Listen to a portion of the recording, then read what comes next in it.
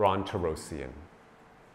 So at that time, we're talking about the mid 90s, Torossian is allegedly the president of the Beitar movement. What is the Beitar movement? That is the youth group of the Likud party, Israel's ruling Likud party, the right wing revisionist Zionists in Israel. They have a youth wing, and Ronn Torossian was the head of the youth wing of the Likud party.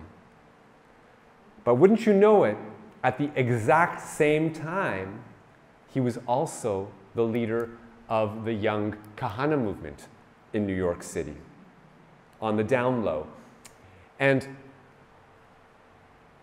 we know this because he would go out to the synagogues where Kahana was praised, where Kahana preached when he was alive, and when he was praised after he was killed, and where he, they held his funeral ceremony, and where they held their memorial ceremonies year after year.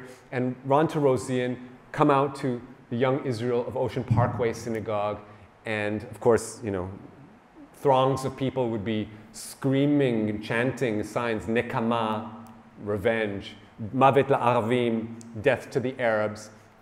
And Torossian would speak in front of this, the synagogue and you know, go up to the pulpit and tell the, those assembled that Kahana was the greatest Jewish leader ever. The only solution is the Kahana solu- is the Kahana revolution. Don't just say Rabbi Kahana was right. Don't just say the Arabs must go. Stay with us. Do something with us. And this is how the Kahana movement began its first steps towards taking over the Likud party.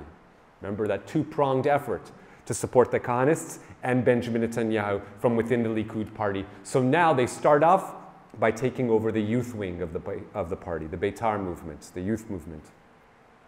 Well, that's what Torossian represents. So if you can get a sense of, of, of how, what kind of dirty dealings went on, so we have Torossian launching a career now as a political advisor. New York politicians, of course, they want to check the boxes and get all those three eyes, right?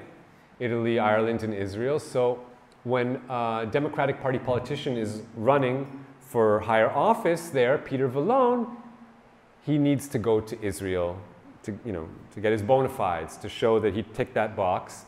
But he needs someone to show him the ropes, to take him around, to introduce him to people. And he decides to take the Kahanist Ronn Torossian.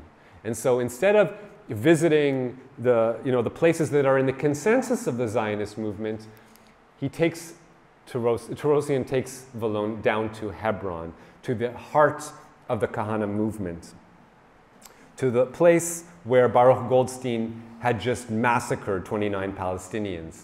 He said to Vallone, There's no Arab voting bloc in New York. What's your downside? Who are you going to alienate?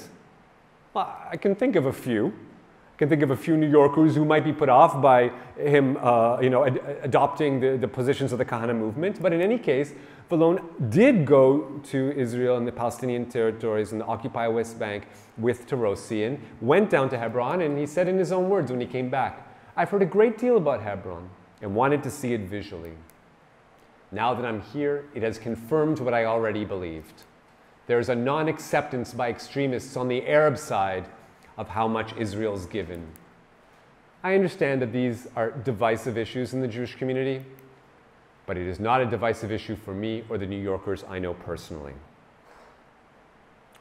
And this is how the Kahana movement begins to infiltrate the Democratic Party pol politics. Uh, Torossian is adopted by the Clinton family advisor, Hank Sheinkopf, and he trains him to be, uh, you know, in this, in the political machinations. And he ends up becoming one of the most powerful PR people in New York City till this day. Out and out Kahanist, he hasn't changed his views. Straight up, he said, we should kill 100 Arabs or 1,000 Arabs for every one Jew they kill. If someone kills Jews, we should wipe out the town he's from, kill them all. These are the kinds of people advising the Democratic Party in the United States. these are the kinds of people that the, the Clinton family bring into their, uh, into, into, you know, into, into their closest quarters.